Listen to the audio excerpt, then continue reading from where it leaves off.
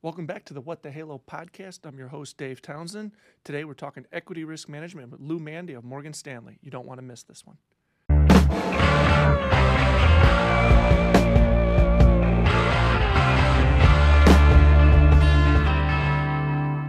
All right, Lou, thanks for joining the show today. What the Halo?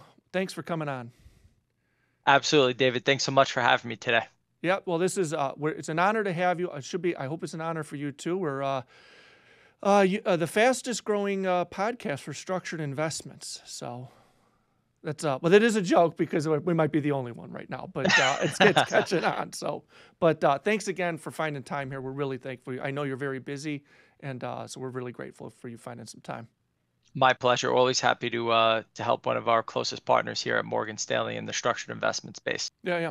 Well, what's interesting is, and, and I remain uh, agnostic to, to, be truth be told, Lou. I'm independent, if you will, here as as Halo was. But Morgan Stanley's capital markets team, you know, was just it's there's a pedigree that only, you know, uh, probably 100 years plus. I, I forget that you know that, that you have to build over time, and it's global. So break break this down for me. Tell us about the Advisor Solutions team. Curious about this. Yeah, absolutely. Um, very excited about the Advisor Solutions team. How are we uh, connecting with? How are we partnering with? How are we strategizing with the independent RIA space? And a couple of different ways that we're able to do that right now has been vis-a-vis our thought leadership, trade ideas um, in the structured investment space, making yep. sure that we're working hand in hand with the client, um, bringing them tactical, topical ideas that best fit their portfolio and you know their wealth management practice and then alongside of that has been um, a newly launched uh, strategy okay. uh, which we're considering to be the equity risk management suite. Yep. and we're now offering that out to the independent ria space as well. Okay, so the so the the equity risk management component is interesting, obviously, because uh, equity risk is there's never a time when it's not important, but it's certainly uh, we're in a heightened state right now with the Magnificent Seven and all the the other um, talk. So so this is a new strategy. Can you break down this a little bit deeper for us in terms of what what what do you get out of the equity risk management component? Absolutely. Um, so to touch a little bit on the equity risk management suite of different type of strategies that we have, right? We essentially will work, we strategize with the RIA, right? Okay. And the beauty of it is we're not never leading with product, we're not leading with a trade idea. We mm-hmm. want to better understand kind of what the RIA is trying to solve for for their client's concentrated position. And that could be a couple of different things, right? Yeah, obviously with markets trading at all times highs and uh, the tech the tech sector going to the moon, we're hearing bubble talks again. Uh, but you know, aside from the uh, the hyperbole, what is the RIA channel? You know, how, what are they saying? What are you hearing out there? Because I know you travel a lot and you see a lot of different clients. Any trends or anything you're seeing out there? You know, direct, uh, sort of on the front lines. Yeah, absolutely, right. So a main sticking point, which is kind of a champagne problem to have in this type of market environment, has been, you know, many of many of RIAs have come to us and essentially said, "Hey, I have this one specific client. They have a concentrated single stock position in their portfolio, okay. right? And essentially what that looks like or what that could be right is client could essentially inherit maybe a large concentrated position. And then of course given the, the run up in equity markets and in the tech space in particular that position is now grown right? Okay. so in terms of in terms of their weighting of their portfolio and how much concentration that position uh, actually makes up in the overall portfolio it's now become you know heightened. So RAs essentially want to figure out a way how can I mitigate this risk for the client right? So that's first and foremost. Mm-hmm. Yep. Two, they're thinking about how can I mitigate this risk and also diversify my client's position, right? Similar to the rest of the portfolio, uh, most RAs run a very diversified practice for their clients. They want to figure out a way they could diversify this exposure for their client, right? Yeah. And then set, third to that is going to be how can I do both of those things in a tax efficient manner? Okay. Yeah, well, uh, enough of the, the the cupcake questions here, Lou. I'm gonna I'm gonna give you a tough one now. Um, so uh, we're friends, but I you know I like to put you on the spot, and I know you're a sharp sharp guy. So obviously you mentioned concentrated stock positions. It makes me think obviously of variable prepaid forwards. Can you give us a little bit more about the strategy, how Morgan Stanley treats variable prepaid forwards, or maybe yeah. even an example of you know like if I was a hypothetical advisor and I came to you, how how would that what would this look like? Yeah, a- absolutely, right. So based on a lot of feedback that we've been see, uh, receiving from the RIA space, hmm um, it's it's been extremely positive, right? Because the variable prepaid forward in nature really does uh, solve for many of those different concerns and um, you know essentially voids that the the RIA is trying to solve in the overall portfolio for their client. Let's start with what does a variable prepaid forward hmm essentially help the RIA solve for for their specific client, right? So first, right, we had mentioned earlier the hedging aspect of it, right? Okay. So if I have a client, and I'll use a uh, an illustrative example here to kind of walk us through this. Let's say I'm an RIA, I'm a financial advisor, and I have a client who has $100 million now worth of Apple single stock position. Okay. Right? Now, that's just one position that sits in a portfolio amongst several other investments, right? So right then and there, we're going to try and figure out how are we going to diversify our exposure to Apple, right? Yep. Now, your first, the first thing that comes to mind would be to start selling out of the position, right? We're going to lock in those gains for the client. They did a great job, great investment. Yep. Now they're going to start to sell out of the position in the open market. When they sell out of the position in the open market, what do they incur? They're going to essentially incur taxes, Yep. right? They're So everywhere. Ex- They, yeah, yes, they are. So they'll still essentially incur taxes, right, on the sale of their stock.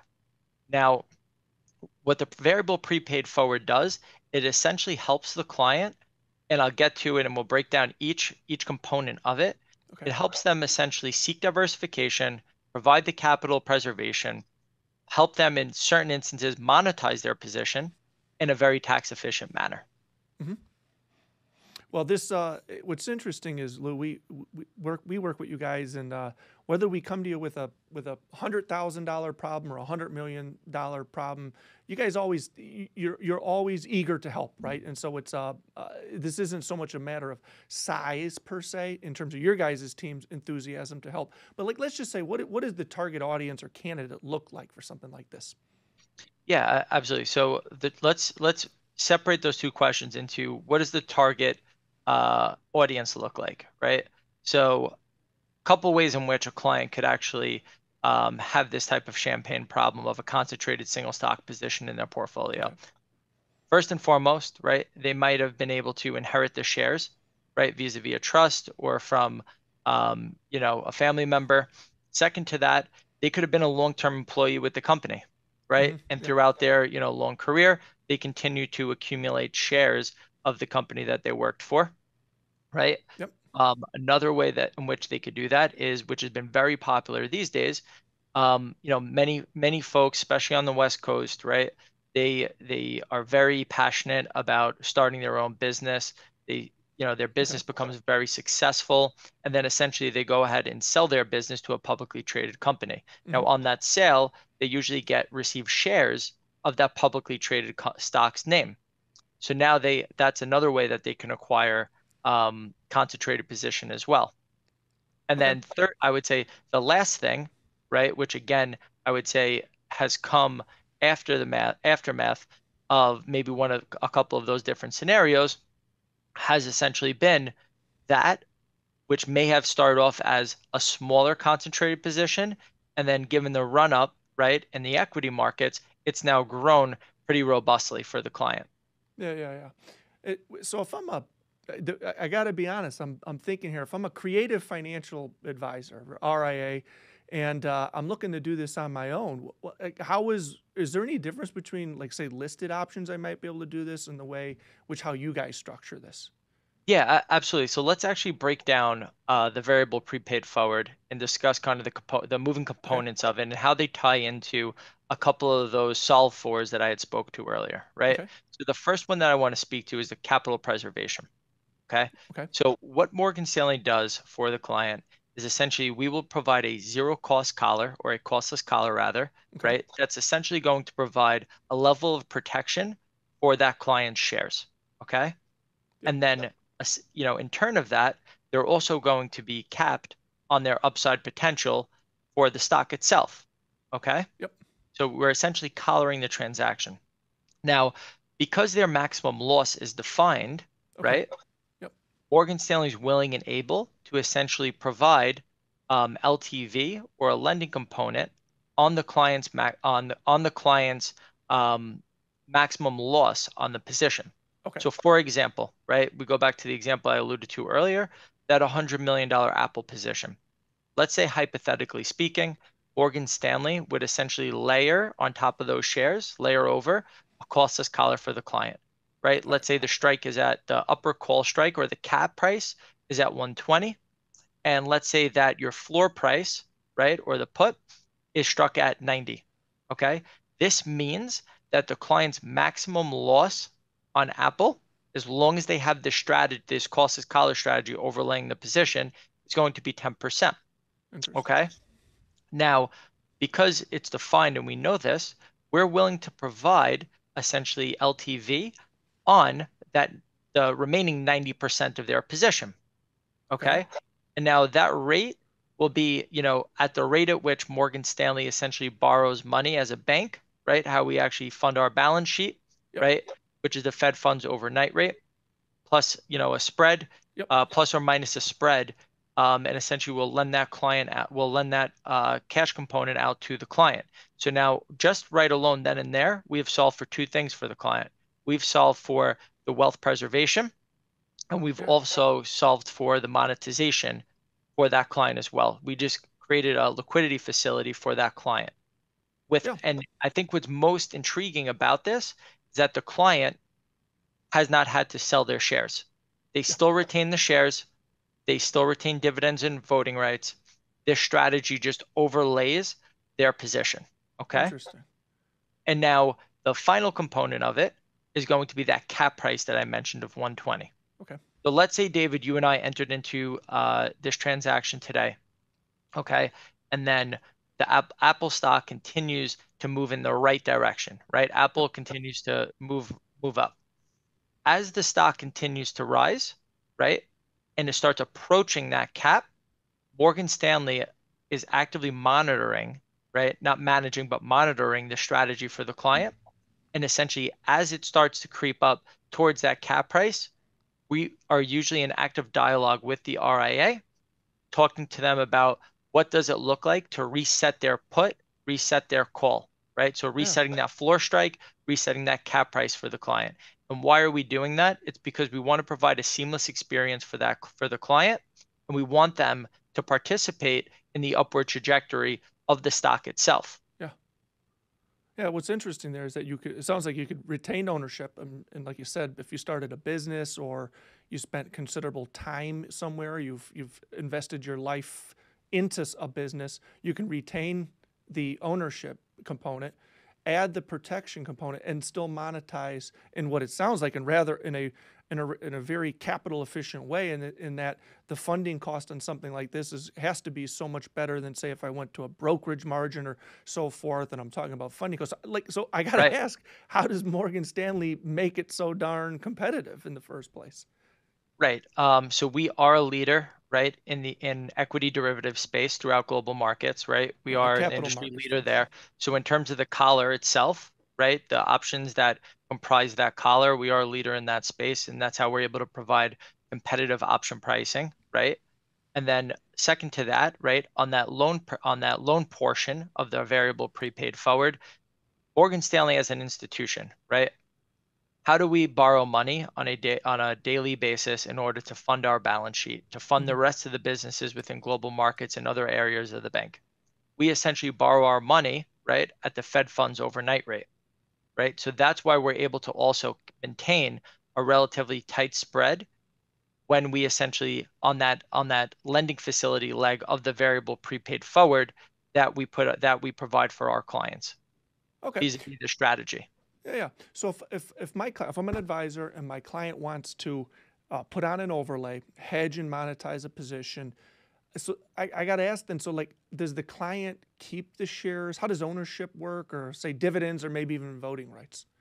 Yeah, absolutely. So like as mentioned earlier, those shares right are not sold. Those shares are not forfeited to Morgan Stanley. Those shares are pledged to Morgan Stanley, right? Okay. In order to enter into this strategy.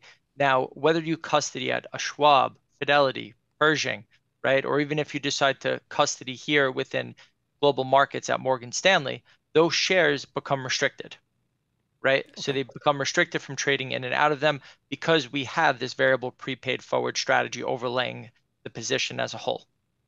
Okay.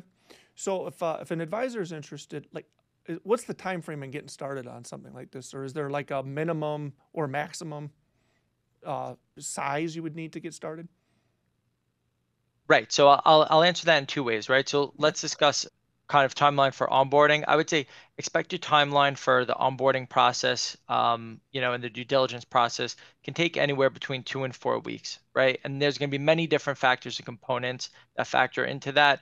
That's going to be the type of entity that actually owns the shares, where are those shares currently custody today, right? And then essentially the diligence that Morgan Stanley provides on both the shares, the client owning those shares, as well as the RIA. So that's kind of the onboarding. So you could expect two to four weeks okay. on average for to actually start and execute the transaction. Yep. Now, from a shareholder criteria standpoint, right here at Morgan Stanley, our hurdles are essentially um, we'll trade the a, the position size, okay, as low as one million dollars. Okay. That means if a client has one million dollars of Apple stock and would like to enter into a variable prepaid forward contract with Morgan Stanley, we would be willing to accommodate that. Okay. So now a second thing that that matters to that, and the second area of criteria regarding the shareholder is going to be their liquid net worth. Mm-hmm. Here at Morgan Stanley, we set that bar at $10 million of li- investable liquid investable assets. So that means if you have a client who has liquid investable assets of $10 million plus, they have a $1 million Apple position, we're more than happy to facilitate facilitate that for the client and overlay that strategy. Okay, Lou. How, if somebody, if an advisor wants to hear more about this, how do they get in touch with you?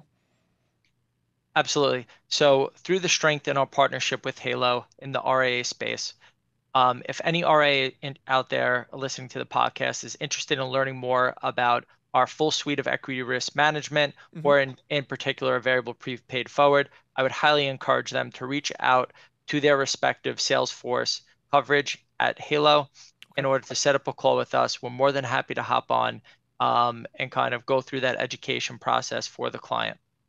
All right. Well, uh, thanks again for your time today, Lou. I look forward to uh, speaking with you again soon. We'll have to grab a beer next time you're in Chicago. Any uh, any any quick leave behinds here? Any takeaways? Yeah. Thanks, David. Yes.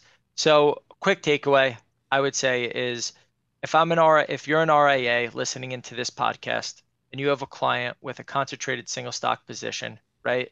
And you're thinking about different ways, unique ways that you can add value to your client and help mediate a potential problem that they have with the portfolio, right? Yeah. Think about how am I going to help the client diversify out of the position? How am I going to, most importantly, help them lock in their gains and preserve their capital? Yep. Right. And if you're interested in potentially helping them monetize on their position as well without giving up ownership of the shares and selling out of those shares in a tax efficient manner. I would say reach out to again, reach out to your, your Halo Salesforce representative, have them let them know that you want to learn more about Morgan Stanley's equity risk management suite and in particular variable prepaid forwards. And we're more than happy to hop on a call with you to kind of discuss strategy, um, and educate you, you know, a little bit more on kind of how their strategy totally unfolds, different scenarios, and how Morgan Stanley monitors these strategies for the RIA space as a whole. Great. All right, Lou. Thanks again for your time today, and we uh, we look forward to speaking with you again soon. Likewise. Thanks, David. All right. Thank you.